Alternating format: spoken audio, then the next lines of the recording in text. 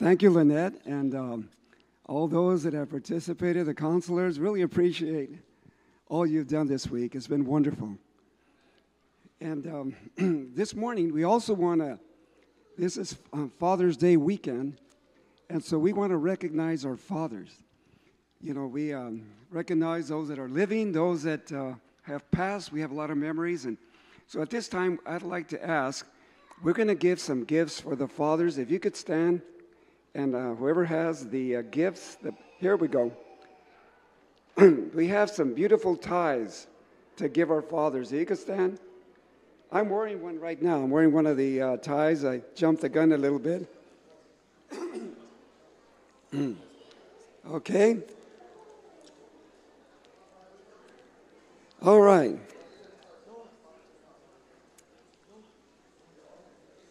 This, this past Tuesday,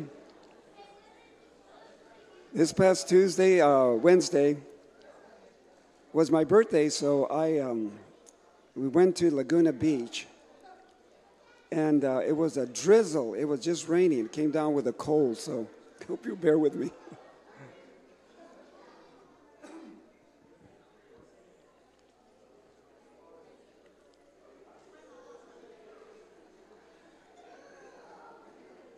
All right.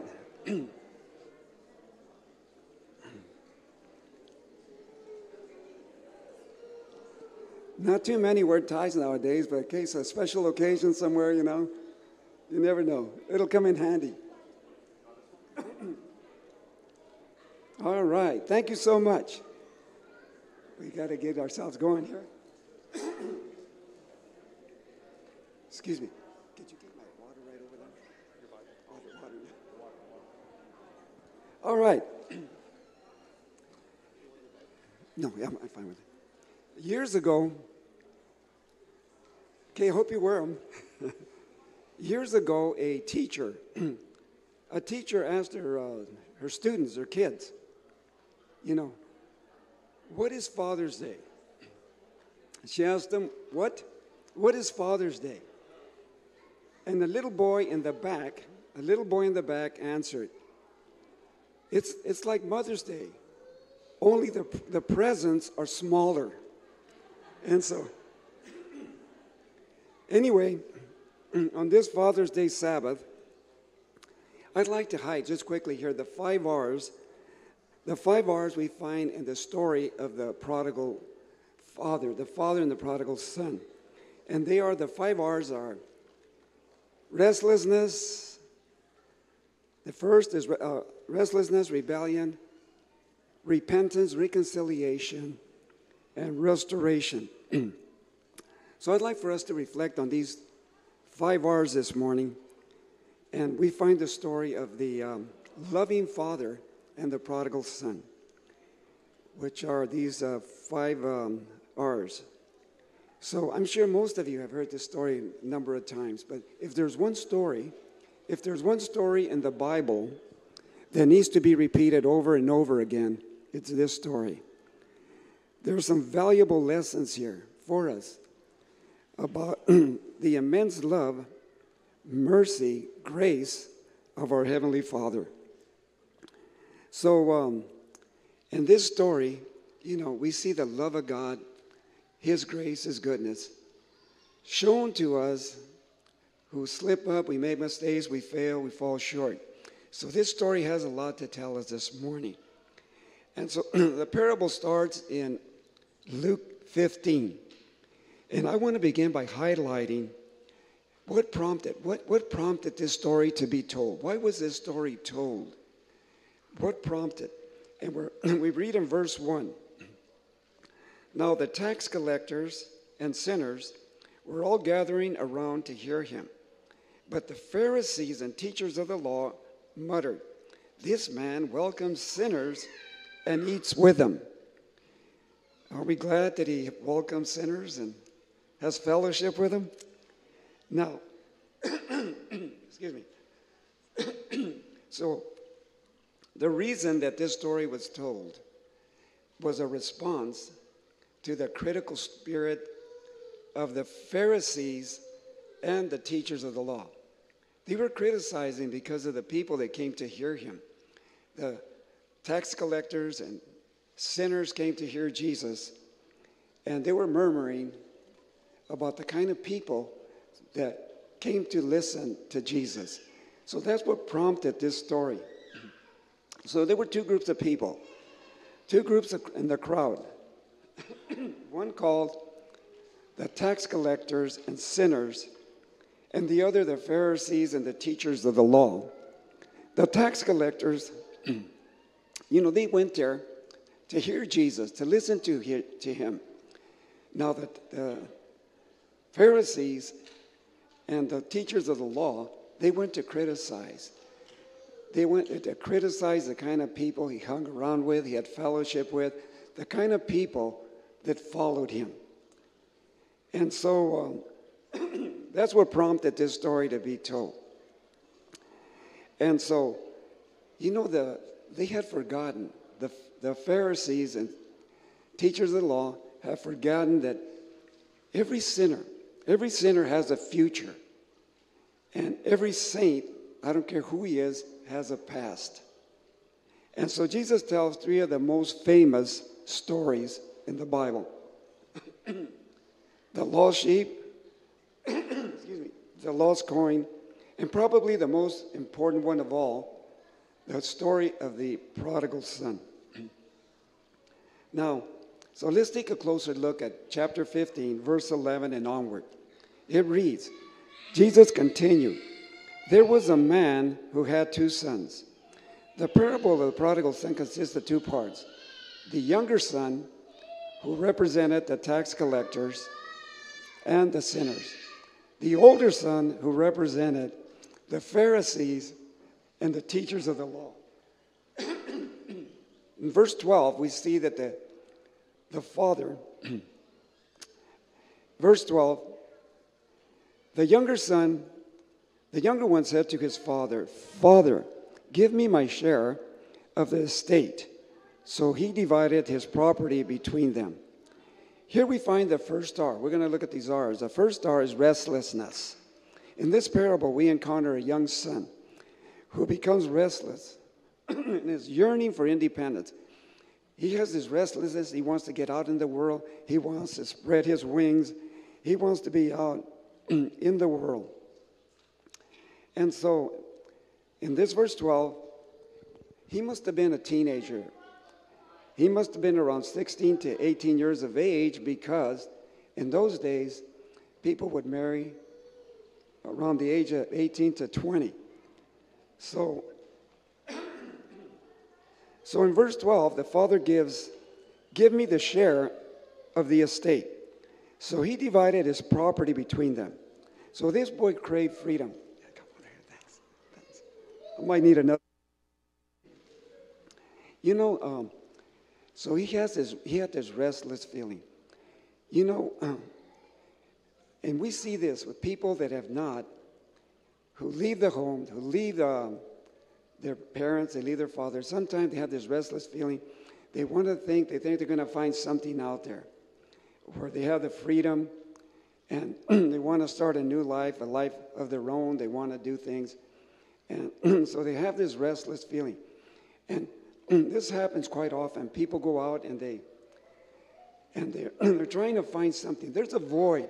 There's a void in our hearts that only Jesus can fill. But people try to fill that void with other things. They try to hang out with people that are, that are not um, helpful to them. So that's what the younger son does. He wanted liberty without law and excuse me, a violation of the fifth commandment. I thought I'd be able to do this. so um, it was a general custom in those days that the inheritance, the estate, was not divided until the parent would die, until his death. so, what this young man was doing, asking for his part, it was a violation. I mean, this was. It was something that he was doing that was completely a rejection of his father's authority. Let's go quickly to the second R rebellion. Not long after that, the younger son got together all he had and set off for the distant country. So the prodigal son embarks on a journey. He indulges in recklessness and, you know, excess in everything. There were times when it seemed that his parents, there's a time when it seems that parents, and we, you know, they, um, you know, they, they need to permit their young, their children, their teenagers, to um, do what they want to do, to learn by experience, to learn, you know, the, the consequences of a wrong choice, of going out and doing things, you know, it's not what parents want for their children, but sometimes, you know, natural consequences. They want to get out, and there's very much, very little a parent can do. Families face this. And so, um, a headstrong youth, sometimes they need to allow them to go out and do things so they can find out for themselves what's, what's out there. Verse 13. Not long after that, the younger son got together all he had and set off for that con- distant country.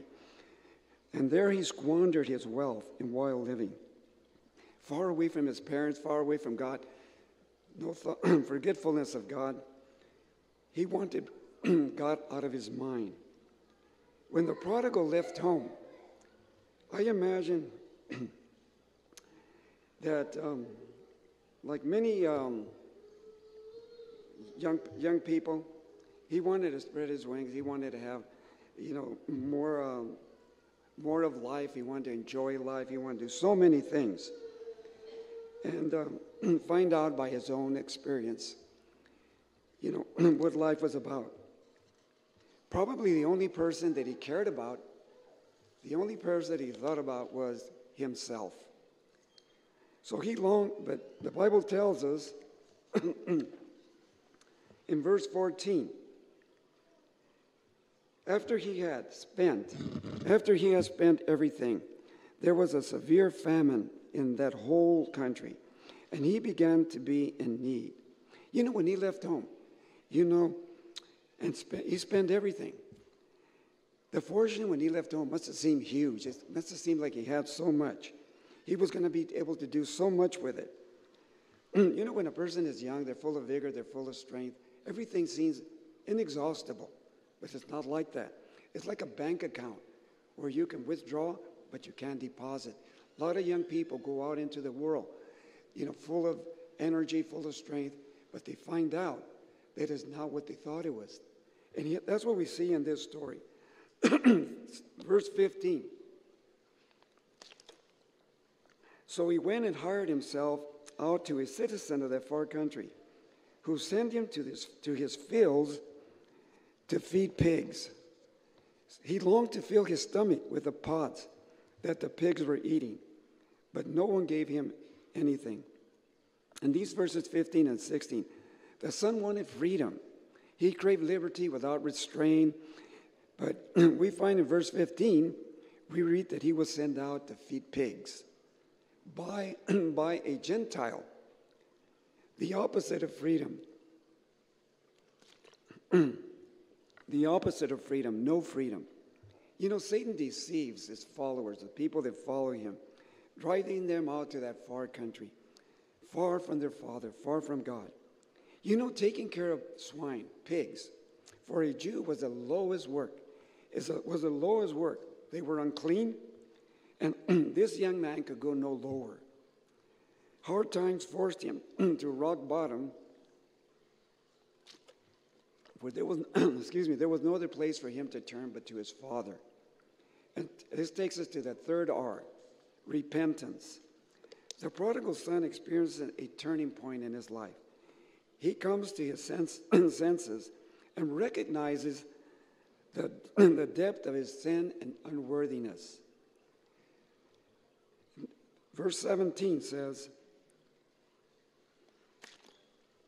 When he came to his senses, he said, How many of my father's hired servants have food to spare, and here I am starving to death? In verse 17, he experienced a wake up call. It says he came to his senses. The phrase he came to his senses is a Hebrew expression for repentance. He began to reason how foolish he had been. And he had spent his entire inheritance in loose living, wild living, and he tarnished his father's name. He concluded that going back to his father, going back to his father was more desirable. You know, living as a slave at his father's home was more desirable than what he was experiencing out in that far country. For the, for the first time, the philosophy of his father began to make sense. So he starts a journey back home. Verses 18 and 19. I will set out and go to my father and say to him, Father, I have sinned against heaven and against you. I am no longer worthy to be called your son. Make me like one of your hired servants. In these two verses here, 18 and 19, we see a genuine repentance. Father, I have sinned against heaven and in your sight. Notice that there's no excuses. He doesn't blame his father or the circumstances around the, his home. Not like King Pharaoh. Remember King Pharaoh who repented, but as soon as the plagues were over, he hardened his heart. No, that was not a repentance. But this young man, it was a true repentance. He felt sorrow, he felt bad for what he had done. And this takes us to the fourth R, and that is to reflect on reconciliation. As the prodigal son makes his way back home, he is met, he is met with an unexpected response from his father. He was expecting something different. Verse 20 and 21. Excuse me, bear with me. so he got up and went to his father. But while he was still a long way off, his father saw him and was filled with compassion for him. He ran to his son, threw his arms around him, and kissed him. The son said to him, Father, I have sinned against heaven and against you. I am no longer worthy to be called your son. In verse 20, we see the Father's love, His compassion, His mercy. He ran. It says the Father ran and embraced him, even in his condition. He most likely smelled, he smelled like the, you know, the stench of the pig pen where he, where he found his last job. Yet his father had a heart of compassion. His, he had a heart of love towards his son. The Bible says that from a distance, from a distance, his father recognized his son and ran to him. You know, we as parents, we recognize our children, something about them, the way they walk, the way they stand. And so this father recognizes the son in that condition. Verse 21 he expressed to his father his total unworthiness. The, the prodigal knew that there was no way that he could redeem himself. He felt unworthy. But he missed a really important point. A really important point. He felt unworthy. His father, on the other hand, considered him of great worth. And you know what? God feels that same way about us. We're a great worth to God, each one of us. So this leads us to restoration. Number the last R. But the father said to his servant, Quick, bring the best robe and put it on him.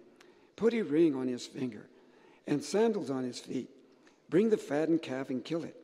Let's have a feast and celebrate. For this son of mine was dead and is alive again. He was lost and is found. So they began to celebrate. Verses 22 and 24, the father gives, gives him four gifts. The first gift bring forth the best robe and put it on him. All the marks of the far country must be covered. He hides the rags and tattered garments of his son. He wanted to spare his son embarrassment. The majority of us here have gone to that far country. We have been there. Isaiah 53 6 says, All of us, like sheep, have gone astray. you know, God, He wants to cover, He wants to cover the marks of the far country of those that have gone astray. He offers us, He offers each one of us His robe of righteousness. Because our righteousness, the Bible says, is as filthy rags. Zechariah 3 4. I am sure the son, the son wanted to apologize a thousand times over. I mean, the, the father probably listened to him only to satisfy the son's need for repentance. From there, the father moved on to rest, restoration. The robe represents the robe of righteousness provided through the blood of Jesus Christ, who died for our sins. It is a garment that covers each of us with the righteousness of Christ. Isaiah 61, Isaiah 61, verse 10. I delight greatly in the Lord. My soul rejoices with my God, for he hath clothed me with garments of salvation and arrayed me in a robe of righteousness. As a bridegroom adorns his head like a priest, and as a bride adorns herself with her jewels, he adorns us with his robe of righteousness. So that when God looks at us, he doesn't see us, he sees Christ in our place. Hebrews 10 17. Our sins he remembers no more. That robe is a symbol of acceptance and justification, not guilty, forgiven before the Lord. this kind of love that we see here demonstrated by the Father brings great acceptance, it brings healing, and it brings a renewed purpose in life. So, the, the first thing, the first act the Father does, this loving Father, is to, when the prodigal, prodigal son comes back, he gives him a robe of righteousness. The second gift, put a finger on his, uh, put a ring on his finger. The ring restores status as a family member. Now, in ancient, ancient times, presenting a ring to someone was a sign of affection and a symbol of wealth, of honor, of authority, of position.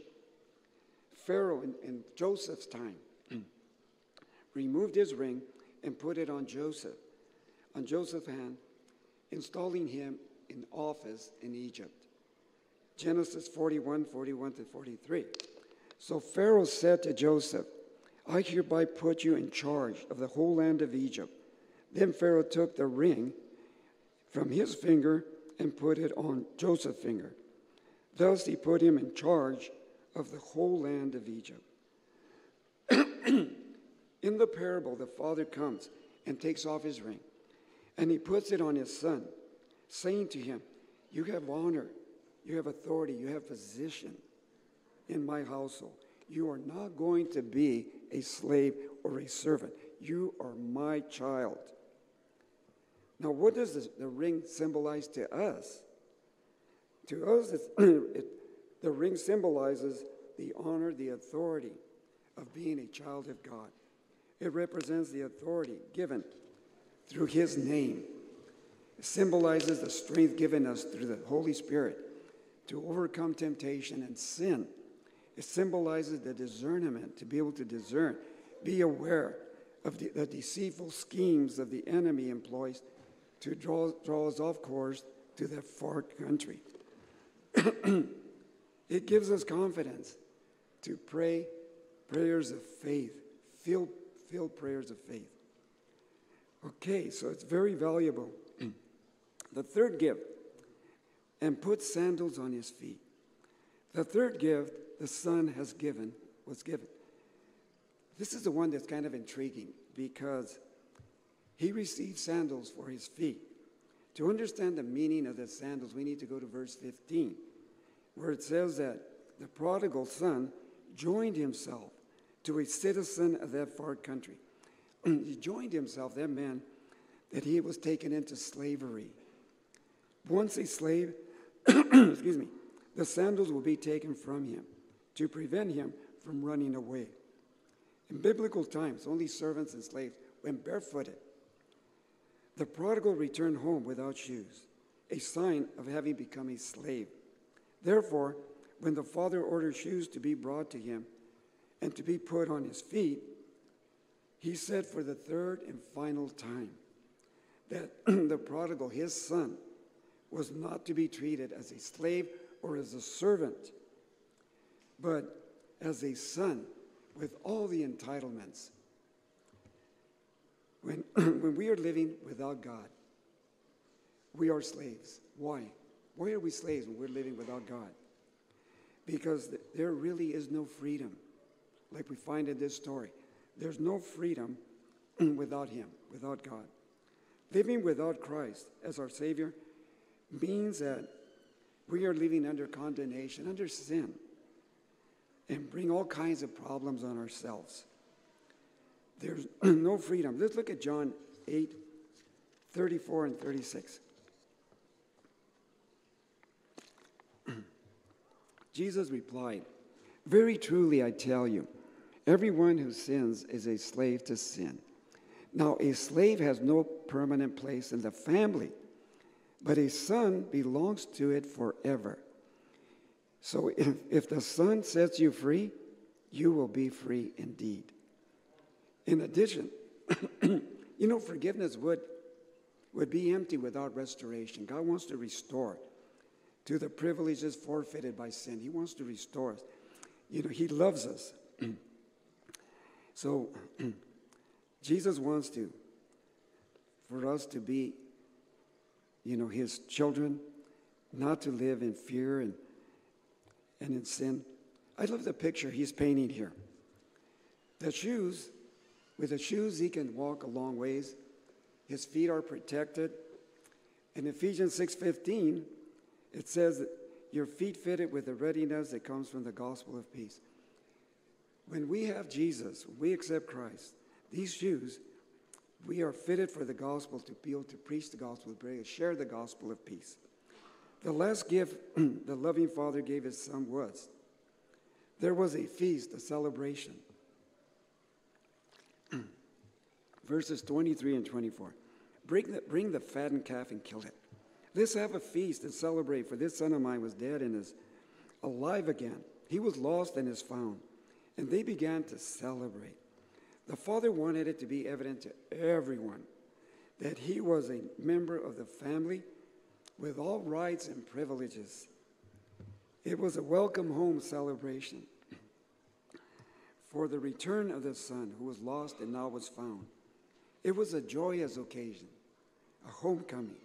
Luke 15, 7 says, I say to you that likewise there will be more joy in heaven over one sinner who repents than over 99 just persons who need no repentance. we as Christians also confess, we confess to all by baptism our acceptance of God's gift of forgiveness and restoration. By the way, next week we have a baptism. We're going to be having a baptism, of a person that's turning their life to Christ. so it's important to notice that in this parable, there's no words of sharp reproof, no saying, I told you so, or, or making the person feel sufficient guilt. There's no requirement of probation, no sentence of quarantine until the disease of sin has cleared away. Instead, the father greeted him with sincere rejoicing of heart, filled with love and forgiveness, embracing him with the love of a father. This parable of the prodigal son is a picture of you and me and God. Yes, it portrays the father as someone who is eagerly waiting for our sons and daughters to come home. Searching daily through the winding road to see his son and daughter come home. The scripture tells us, well, but while he was still long, a long way off, his father saw him and felt compassion for him and ran and embraced him. so God is longing to bring the prodigals home and bestow on them and us the four gifts. I don't know how many, I think we all might have a son or a daughter that we would love to be here, to accept Jesus Christ. They're out, and they might not be far away, they might be at home. So it could be the heart or the mind that's out in the far country. And so he longs. We, a lot of us long to have our children. Now, he wants, he wants to give them the four gifts. He wants to give the robe of righteousness instead of their filthy garments, filthy rags. The ring symbolizing the authority of a child of God. The sandals or shoes, no longer slaves, no longer slaves, but sons and daughters, restored, reinstated, and loved. A celebration, joy in the Father's house, a homecoming celebration. You are an heir of God, a joint heir with Jesus Christ, who has been appointed heir of all things. Romans 8 17 and Hebrews 1 2. In conclusion, we cannot thank our Heavenly Father enough for His mercy and His unmerited grace towards us. In the parable, only the Father could restore the Son. And God is more than willing and happy to restore those that come back to Him. Yes. we are looking forward to that great reunion, that great celebration when Jesus comes a second time and celebrate like the father in the parable jesus came to seek and save that which was lost and give his life a ransom for many.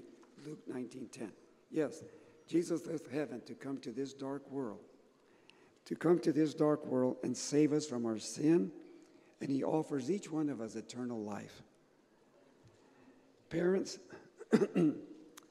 how should we as parents respond to a prodigal son or daughter? what can we learn from this father's response? the intercession from a loving father. We should never stop praying for our children and letting them know it. I had a son that was left and went into the music world, traveled all over the world. I had a son that, uh, and I would let him know. I would let him know. I'm praying for you. Continue to pray for them, and they'll come home.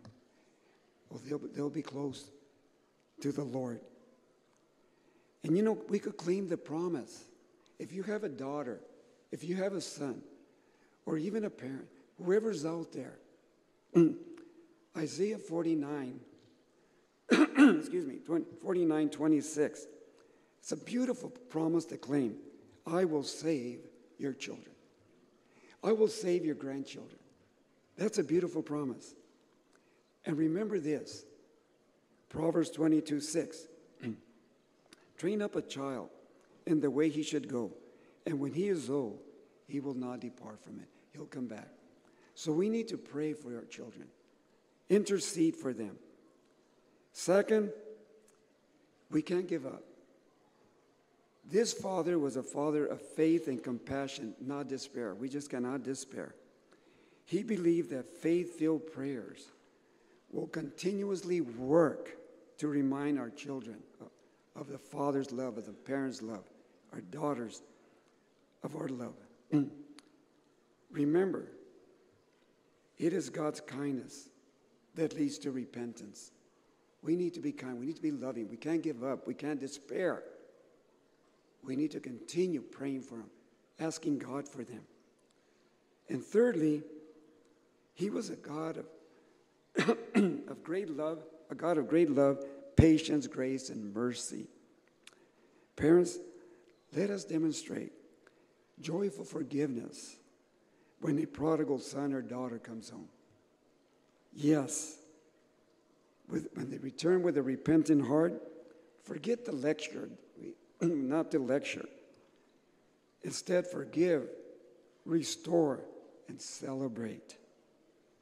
Parents, if any of you here are struggling, if you're struggling with a prodigal son or daughter, this morning, We have a God that loves them.